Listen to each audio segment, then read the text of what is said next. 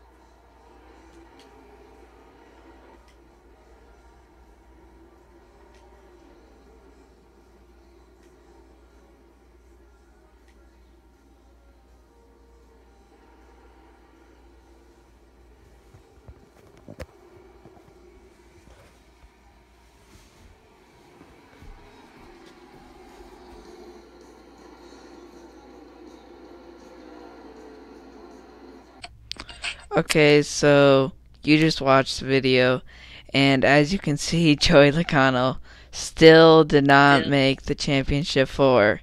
But Kyle Busch was 35 points out, so that's good, I guess. Um, Lakin, do you have anything to say before the end of the video? I don't know what you're talking about.